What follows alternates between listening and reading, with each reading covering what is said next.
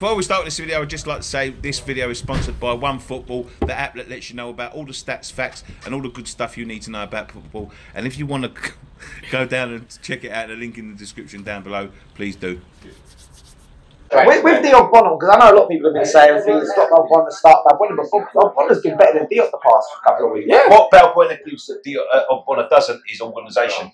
Yeah, but Diop's been poor the last few games. Yeah. Look, I don't. I, I agree there. I agree. Yeah, I Gio, agree, yeah. was- yeah, as G- Gio was saying, I talked to Gio, and he said, "How have we conceded three against Huddersfield and kept the same back four?" Yeah. Yeah, I don't know. You I really don't know. I mean, Sat, He played 90 for his country.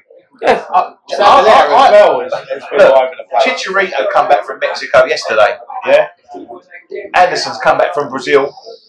Um, Balbuena's obviously come back from Costa Paraguay. Paraguay, right? Mm-hmm. It's no fucking coincidence that the three of them are not in the team today and they've come from fucking South America. But you've been in Mexico. It's not like they're fucking working like we work.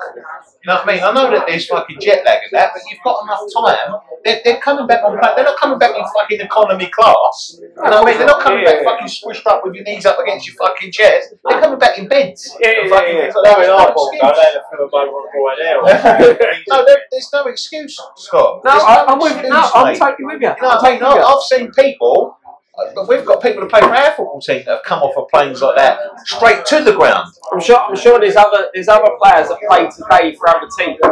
Probably the same situation. Richarlison, was was he out of Brazil? Scott? Oh, I don't,